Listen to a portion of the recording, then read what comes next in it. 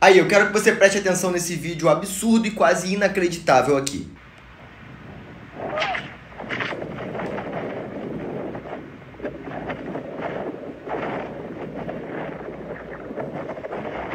Pois é, é difícil acreditar, mas esse mano aqui foi atropelado por uma baleia. A sorte é que ele estava se gravando, senão ninguém iria acreditar nessa história. O cara simplesmente estava fazendo windsurf quando uma baleia pulou próximo a ele e caiu em cima dele. E ele estava em alta velocidade, bateu na baleia e caiu embaixo dela. Ele poderia ter sido morto por ela, mas saiu ileso. Óbvio que ileso, ileso não, né? Ele deu uma pancada numa baleia como se fosse um muro. Ele deve ter ficado com alguns hematomas, alguns arranhões, mas não se quebrou, não se afogou, tá vivo e contou a história de boa. Esse tipo de coisa é extremamente raro de acontecer. Eu acho que eu nunca tinha ouvido nenhum relato desse aqui. Provavelmente ele foi a primeira pessoa do mundo a realmente ser atropelado por uma baleia dessa forma, porque tem que ser muito azarado ou muito sortudo. Isso porque geralmente as baleias não pulam em cima de ninguém intencionalmente, elas são animais pacíficos e também inteligentes, então elas não vão fazer isso de propósito. Só que naquele caso ali a baleia nem deve ter visto ele chegando, porque no windsurf você pega muita velocidade por conta da força do vento. Então quando a baleia fez o salto ali para fora d'água, provavelmente ela não tinha a mínima ideia de que ele estava vindo em alta velocidade e ele também não deve ter visto a baleia a tempo. E aí o que aconteceu foi esse atropelamento aquático aqui extremamente bizarro. Ainda bem que ninguém se machucou, nem o cara e nem a baleia, né?